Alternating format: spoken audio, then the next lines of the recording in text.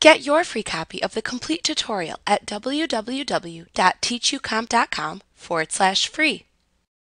In this lesson, you will learn how to import photos saved to the hard drive of your computer into the organizer of Photoshop Elements. To import photos from your hard drive, open the organizer window and choose File, Get Photos and Videos, From Files and Folders from the menu bar. Alternatively, you can instead click the Import drop-down button at the left end of the Shortcuts bar. Then select the From Files and Folders command from the drop-down menu that appears. In the Get Photos and Videos from Files and Folders dialog box, navigate to the folder where you have your images stored. Use this dialog box to navigate to the folder or into the folder where the images are stored depending on what you want to import. This dialog box lets you import all media contained within a selected folder, including the contents in its subfolders. It also allows you to only import selected files within a folder into the organizer if preferred. To import all media files in a folder, use the Get Photos and Videos from Files and Folders dialog box to navigate into the folder that contains the folder with the media you want to import. Then click the folder to select within the dialog box to also import all media contained within subfolders of the selected folder. Ensure that there is a check mark within the Get Photos from Subfolders checkbox at the bottom of this dialog box.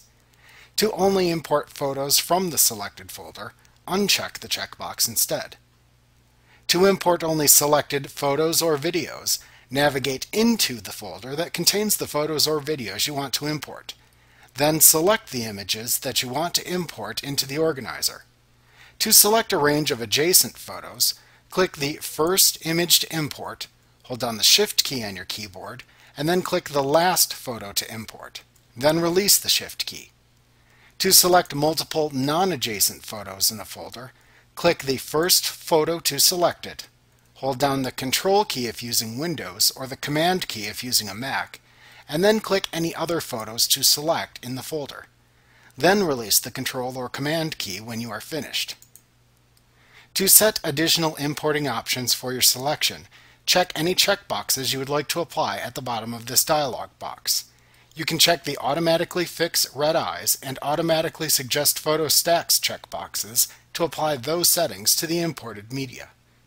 For photos on removable drives or DVDs, you can check the Copy Files on Import checkbox to import the photos versus linking to them, which is the default behavior. You can check the Generate Previews checkbox to generate and display low-resolution preview copies of those images instead. After you've selected the files or folders to import, click the Get Media button at the bottom of the dialog box to import your selected items into the organizer.